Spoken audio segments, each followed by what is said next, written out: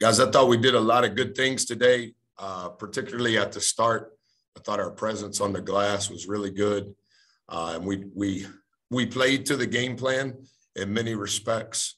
We didn't convert at the rim the way that we need to. Obviously, in rotation, we didn't make catch shoot shots at the rate that we needed to. Um, the live ball turnovers continued to hurt us. Uh, we were better at that in the second half than we were the first half. Um, an incredible environment, uh, a team that's good enough to win the national championship. We did do some good things, just not good enough to win um, today. Questions? Buzz, uh, is it more of a credit to Auburn, the way Auburn played defense on you guys, or is it just a matter of you know missing open looks?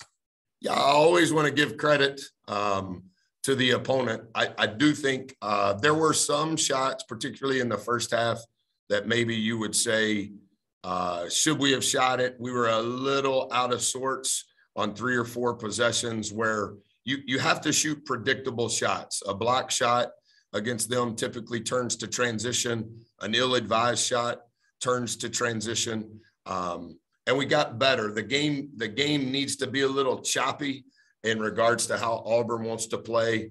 Um, but for the most part, uh, the looks that we had at the rim, we got to the rim uh, today 48% of the time. That is really good.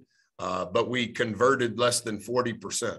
And then obviously, I know that they didn't make many more threes than we did. I guess percentage wise, we actually shot better from three. But going into today, we were not good at contesting threes. We were much better uh, at our contest, either at running them off the line or being there on the catch.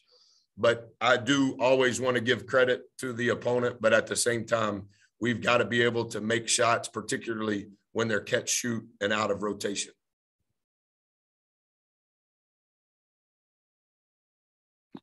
Buzz, could you have uh, anticipated that y'all would have, you know, some of those issues uh, inside just because they're so big and talented there? Yeah, um, you know, our our plan on the defensive glass was really good. Um, I think we ended up having the same number of offensive rebounds that they did. We went small, Olin, uh, towards the latter part of the second half, uh, just trying to manufacture some points. And so when we went small, they hurt us on the glass. I think they had six offensive rebound putbacks in that second half when we were small. But it was it's kind of hit or miss. Like we're doing a good job on the glass, but we're struggling to score. And so I put another guard in and we got smaller in hopes that we could score. And then the byproduct obviously is they they beat us on the glass. Well, as you described it as, as a gauge uh, for better or worse going into this game. Would you describe it afterward as a gauge in terms of where you hope to be, you know, at some point with your program as well? Yeah, I thought I thought our guys' uh, togetherness and their fight was much better from start to finish. Brent, obviously, in the eight-game losing streak, we've tried a variety of different lineups, a variety of different personnel groupings. We've made some adjustments in special situations on both sides of the ball. I think our guys have absorbed that in the right way. Nobody has had uh, a bad attitude or there hasn't been any level of drama. You know, I looked at, um, uh, I kind of keep like a history.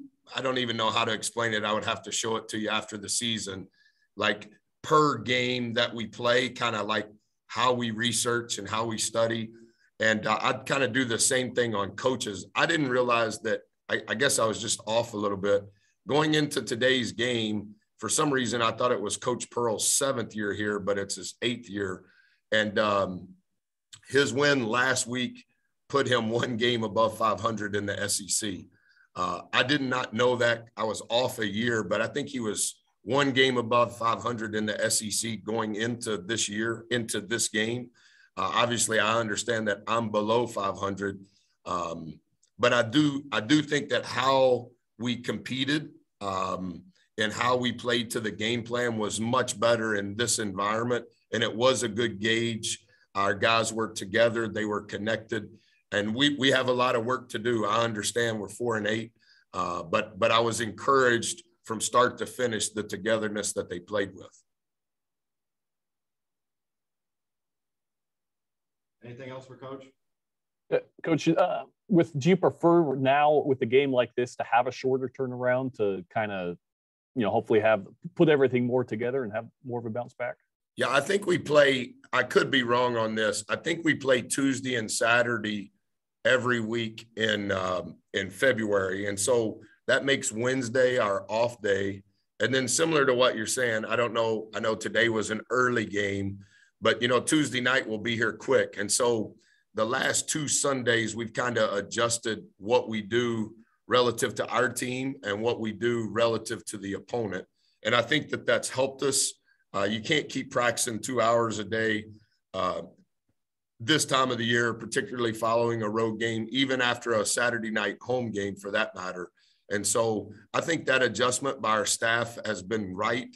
And I think our kids have done a good job with that. So we'll we'll have to diagnose this game tonight when we get home as a staff and then make sure when we start tomorrow we bring up the most important priorities from today, but then we've got to get going in preparation for Florida.